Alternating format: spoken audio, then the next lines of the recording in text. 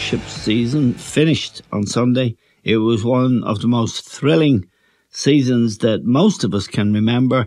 it wasn't just who would win the Premier League, whether it would be Manchester City or Liverpool, also who would get the last place in the Champions League, Tottenham Hotspur or Arsenal, uh, bitter North London rivals, and of course, who would stay in the uh, Premier League and who would go down. Leeds looked threatened for a long time, as did Everton. In the end, they both survived.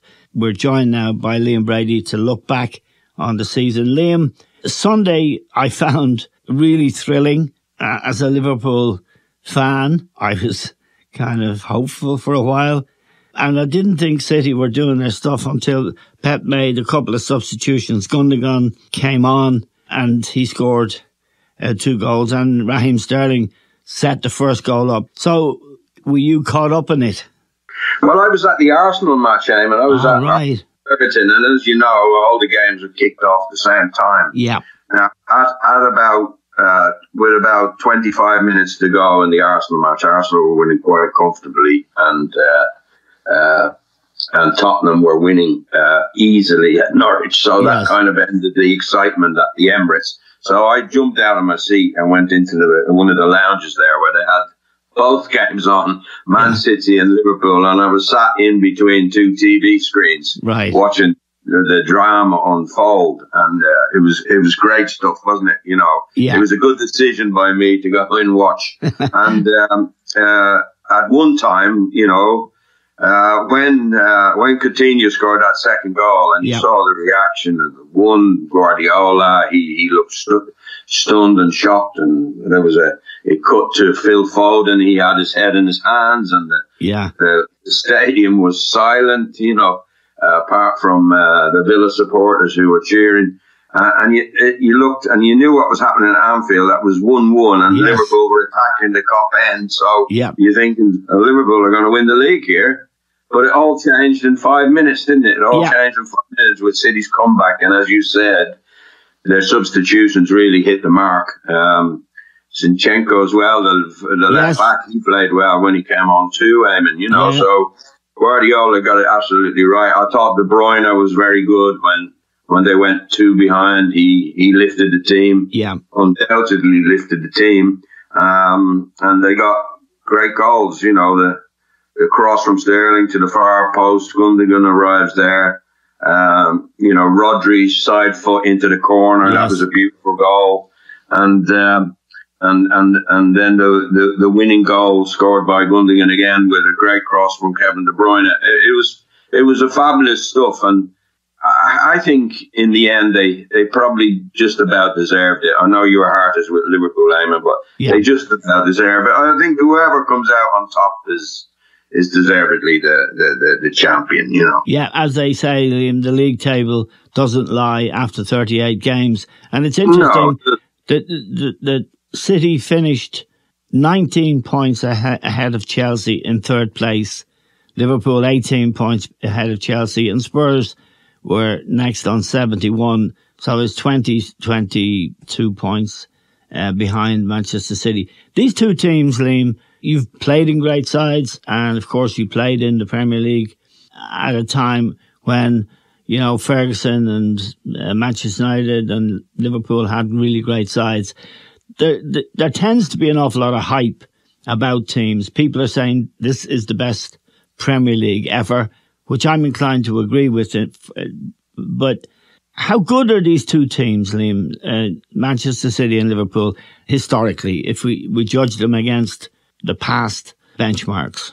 Oh, they're up there, Eamon, with the very best of teams that we've ever seen. There's no doubt about that. But they, they've got a choice of worldwide players now, haven't they? Yes. You know, the players come from all over the world, whereas the great Liverpool teams, and I can go back to the late 60s when Man City had a had a great team yes. with Franny and Mike Summerbee and Colin Bell. You remember that team, I do don't indeed, you? yeah. Malcolm Allison yeah. was the coach, Joe Mercer was the manager, yep. Yeah, yeah, they had a great team then, and then you know Liverpool have had great teams for the last thirty odd years. They had a they had a, a, poor poor time of it when they couldn't win the league until they got Klopp back as manager. But yes. uh, uh, yeah, they're definitely up there, and it shows. You know, in the European competition as well how good they are. Liverpool are in the final. They've been in several finals in the last few years. Yep. City haven't quite made that breakthrough, but they were so unlucky not to beat Real Madrid and go through to the final and face yep. Liverpool again. To be quite honest, yes. Uh, so I think I think you judge them from what you see week in week out in the Premiership and it's really, really impressive. But they're doing it in Europe as well, Eamon. So that that tells you that they are two exceptional teams. Yeah, and John made the point, and it's a well made point, that in your day, for example, you went to Italy, went to Juventus, and at that time, and until I'd say relatively recently, Spain and Italy was where the money was. The big, big money. There seemed to be no limit on what they could spend. Now if you look at Inter or Juve, they're taking sort of players like Aaron Ramsey. You know, they're taking cast-offs. If you might say Ashley Young went and played there. They're taking cast-offs from the Premier League. And the point, the net point John was making is that's where the money is because of the television money and the popularity of English football around the world. And the great players and indeed the great coaches will follow the money. Yeah, that's always been the way, Eamon. I think Spain, Real Madrid, and Barcelona led the way for for many years, probably in the early '60s, and then once uh, Italy opened up to foreign players again in 1980, when when I went, and yeah. it, it really took off after the '82 World Cup when. Um, you know, all the top players that played in that 82 World Cup seemed to gravitate towards towards Italy. So, and, and then it was the most powerful league uh, in, in the world because the money was there. You know, the likes yeah. of Platini, Maradona, and then you had those great Dutch players, Roy Rijkaard, Van Basten, and yeah. and uh, uh, Gullit, and yeah. then you know at, at, at Inter Milan they had Matthäus and Klinsmann, and you know for twenty years it was it was probably the strongest league game, and, and that's AC Milan will win European yeah. Cups, Juventus uh, but Spain always had Real Madrid and Barcelona as their, you know, flying the flag for them, and they were wealthy clubs because yes. of uh, the, the the wealth of the owners. But now it's it's the money that the Premier League generates makes yes makes it much more attractive to all the players worldwide to come there. You know, and it's it is the most powerful league in the world. Um, uh, City have now signed probably one of the best young strikers that there is around in the world in Haaland.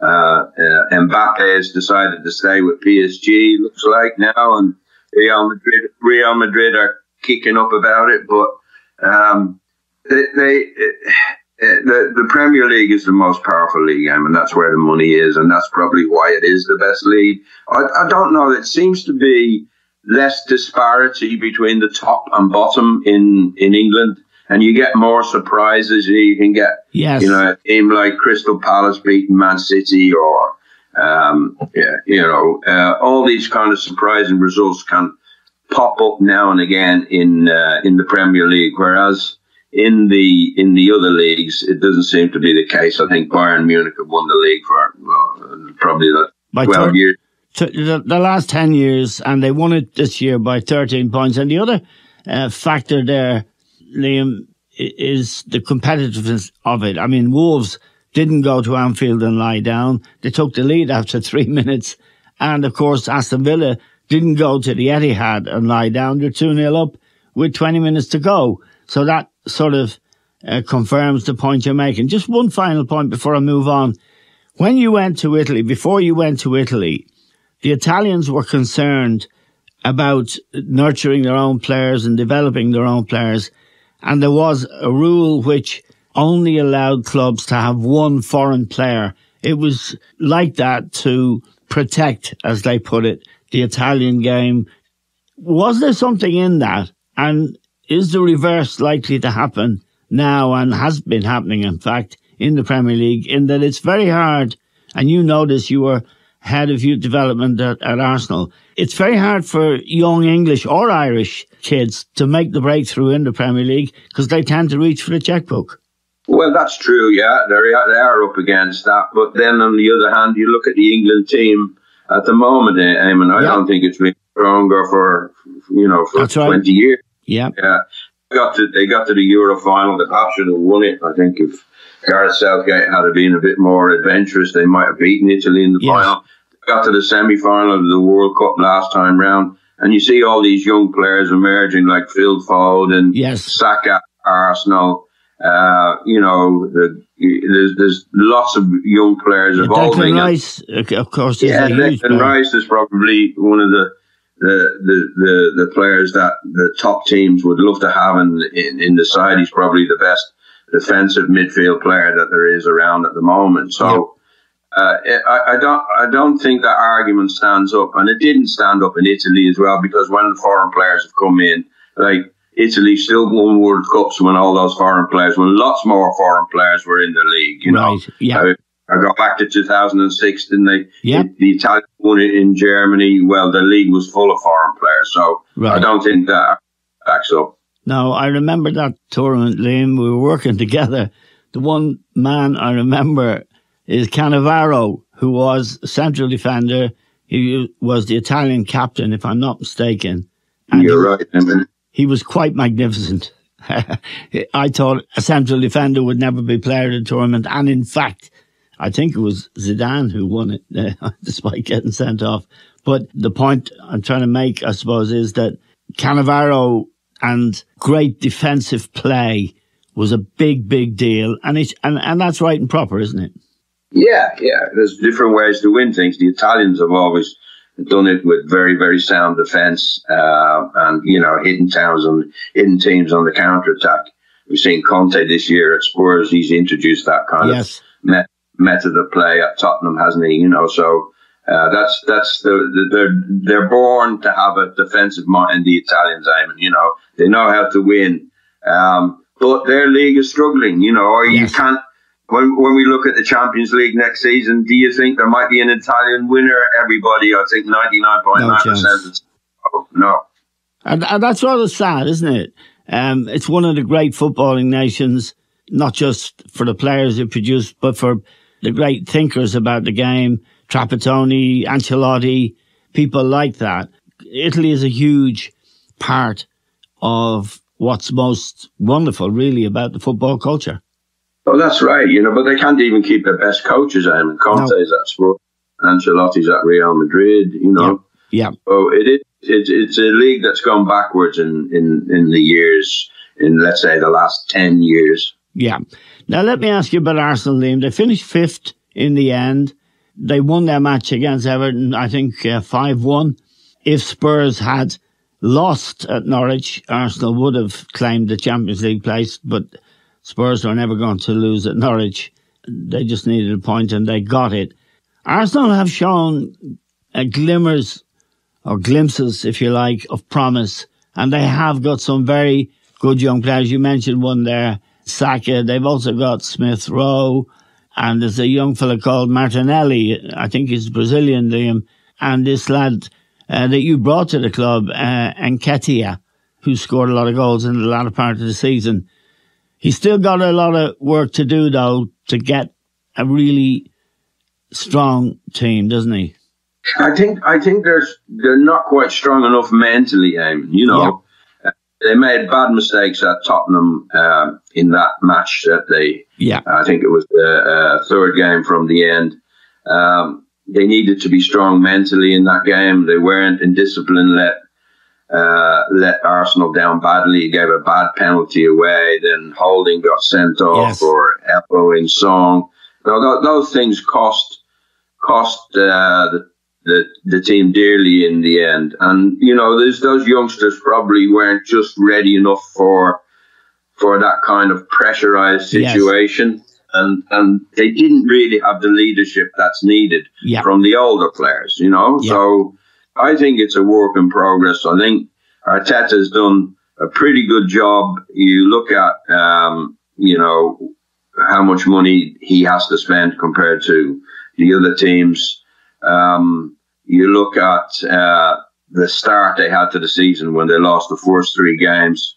So I suppose fifth was was all right in the end.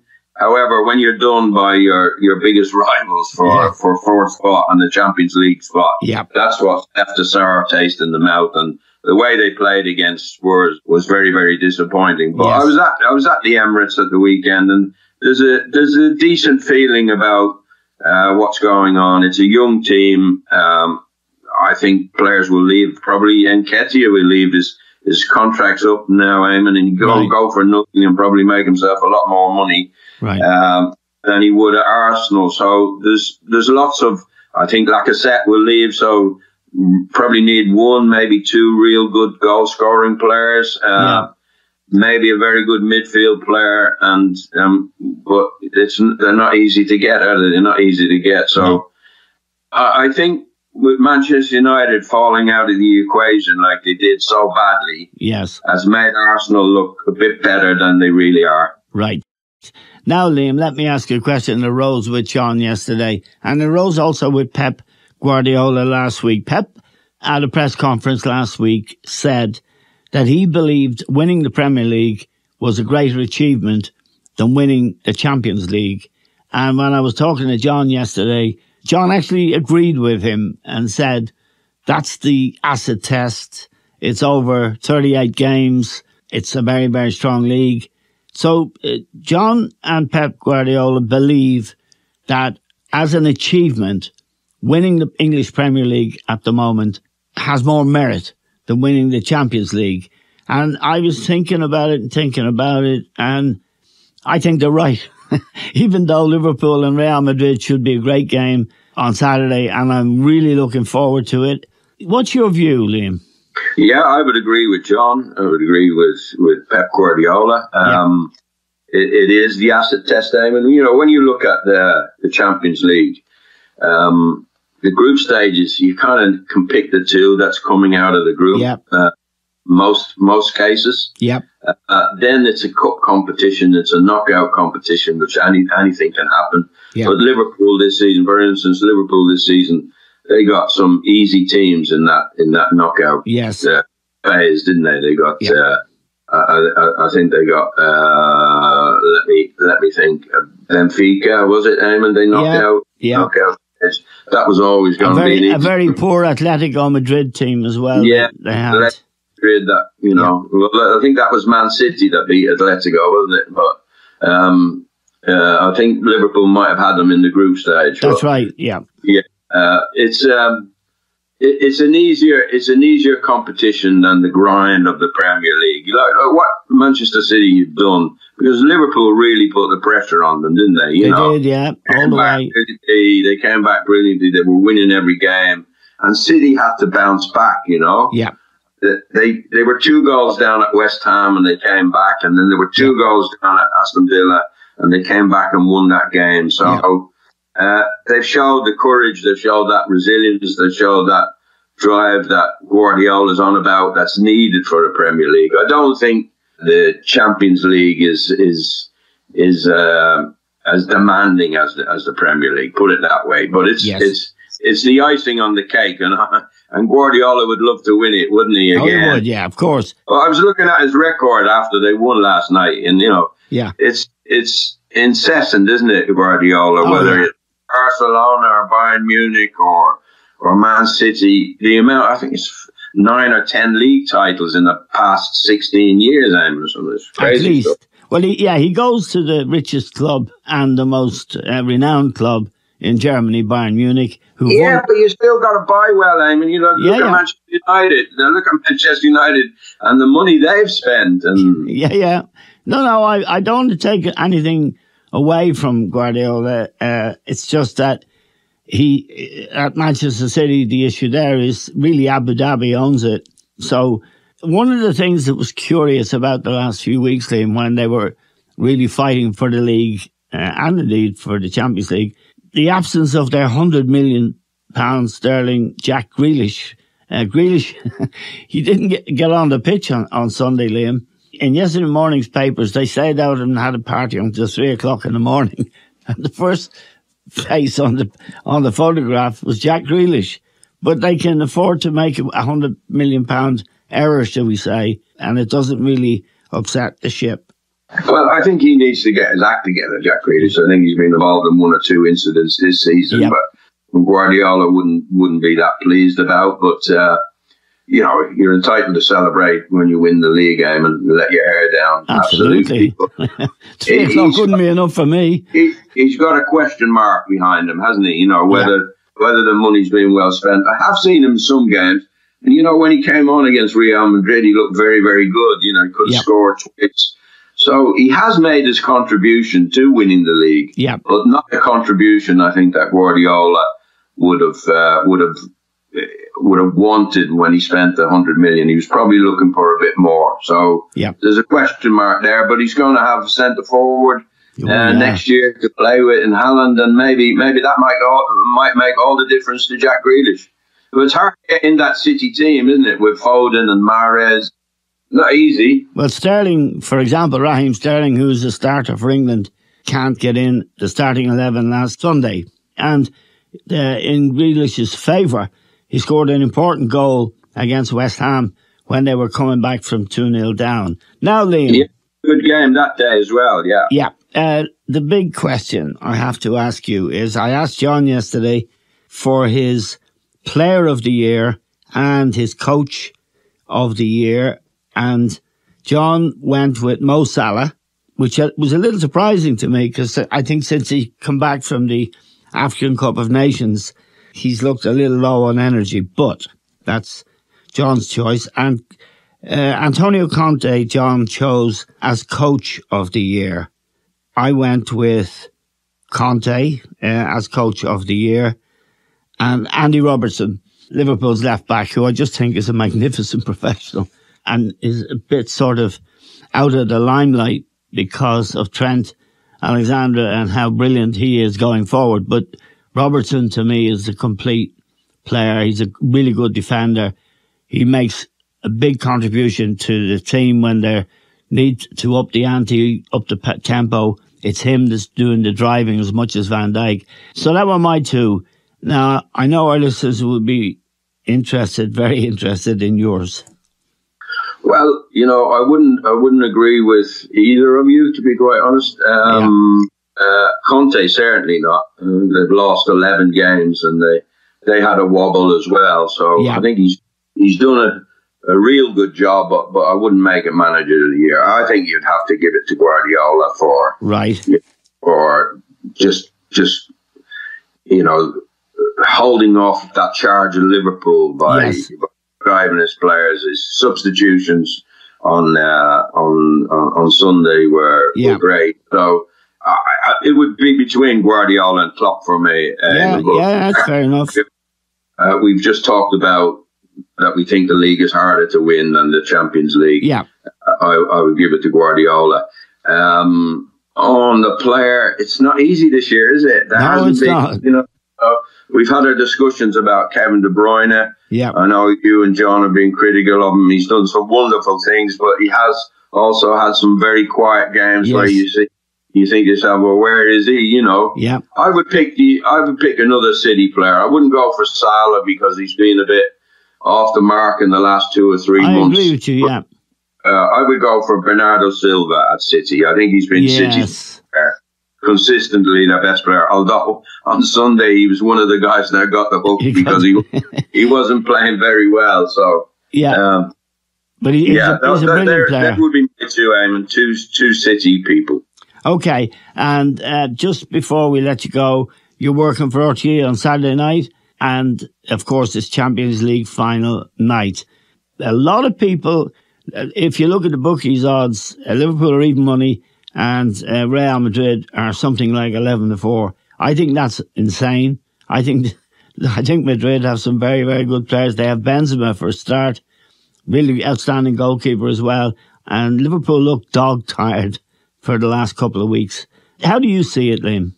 I agree with you. I agree with you. If you had have asked me, you know, two months ago, the final is going to be Liverpool Real Madrid, I would have said, oh, Liverpool will beat them. You know, Yeah. Madrid can't defend. Liverpool have got great attacking players.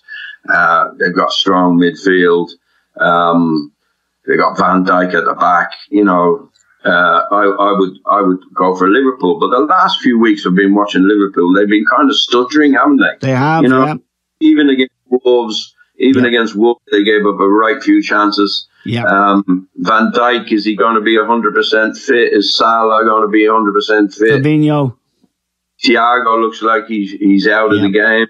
Um, I think it's tipped the scales um, towards Madrid, but uh, you know, I, I'm going to sit on the fence. Eamon. Well, you've got another few days to think about it before you have well, to. no, I, I'm going to sit on the fence because I, I have I have doubts in my mind, having watched a lot of Liverpool's games in the last few weeks. You know, uh, they are looking tired, and you, they've been on the go week in week out. Whereas Madrid have had the league won for a long time. They they've they've had their feet up for two weeks since they Yeah.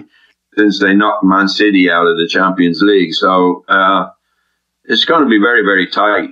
Yeah, I think it's going to be a great match, Liam. I think the, it has the ingredients uh, to be a great match. And if you look at Real, they dealt with PSG from bad position. They dealt with Chelsea from a bad position. They were dead and buried against City. Came back, came back, came back. And Benzema, I think, has shown himself to be a great leader of the team and a great goal scorer. And the the the guy uh, Vinicius, their left winger, uh, I don't like to think as a Liverpool fan about what he might do to Trent or in that hole that Trent leaves it right back. So that might be a turning point in the game, but it should be a fantastic game.